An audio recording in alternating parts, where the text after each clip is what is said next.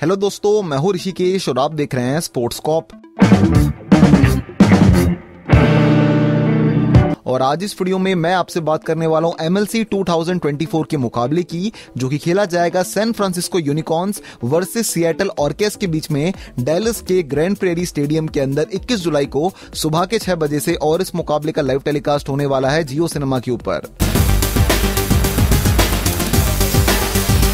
अगर मैं आपसे बात करता हूँ पिच रिपोर्ट के बारे में तो पिच धीरे धीरे काफ़ी स्लो हो चुकी है डेलिस की तो मैं उम्मीद करता हूँ जो भी टीम टॉस जीतेगी ना, पहले बल्लेबाजी करना चाहेगी। सबसे पहले मैं आपसे बात करता हूँ सैन फ्रांसिस्को यूनिकॉर्न्स के बारे में, जिन्होंने पिछला मुकाबला जीतकर इस साल के प्ले के लिए क्वालिफाई कर लिया है। अब देखो ऑब्वियसली इस टीम के अंदर मैथ्यू शॉर्ट है आपके पास आपके पास फिन एलन है, आपके पास जेक फ्रेजर मगर्क है, ये लोग तो हर मुकाबले के अंदर अच्छी बल्लेबाजी करते हैं, पर जिस तरह से पिछले मुकाबले में कप्तान कोरी एंडरसन ने बल्लेबाजी करी, उनको देखकर मुझे काफ़ी मज़ा आया। मुझे सालों सालों पहले की याद आ गई, जब कोरी एंडरसन बड़े बड़े छक्के मारा करते थे। तो मेरे हिसाब से ये इस टीम के लिए काफ़ी शानदार बात है और ये मुझे बहुत स्ट्रांग बनाती है इस टीम के लिए कि अब ये आने वाले मुकाबलों में और अच्छा करेगी। इवन गेंदबाजी के बारे में अगर मैं बात करता हूँ तो हारिस रॉफ इस टीम के लिए विकेट निकाल रहे हैं, पैट कमिंस विकेट निकाल रहे हैं इस टीम के लिए, लियम प्लंकेट इस टीम के अंदर है। तो सारे के सारे जो प्लेयर्स है ना, वो वो है विकेट टेकर्स तो इस टीम की बल्लेबाजी भी अच्छी है, गेंदबाजी भी अच्छी है। पिछले मुकाबले के अंदर एंडरसन भी फॉर्म में आ गए। तो एक और अच्छा मुकाबला इनके पास जीतने का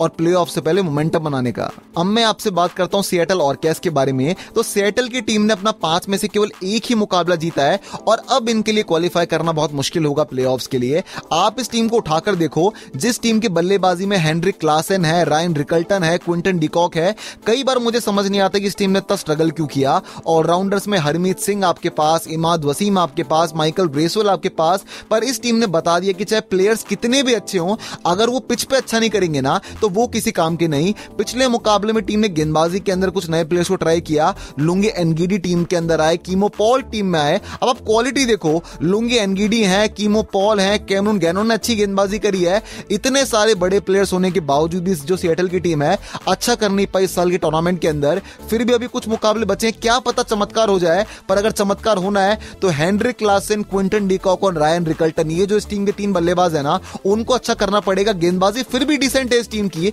पर अगर ये तीन बल्लेबाज चल गए तो सियाटल टीम कमाल कर सकती है। आप मुझे कमेंट करके बताओ कि इस मुकाबले में कौन सी टीम को जीत मिलेगी? वो टीम होगी सियाटल या फिर वो टीम होगी सैन फ्रांसिस्को आप बताओ मुझे कमेंट करके, और इस मुकाबले की फैंटेसी टीम आने वाली है स्क्रीन के ऊपर।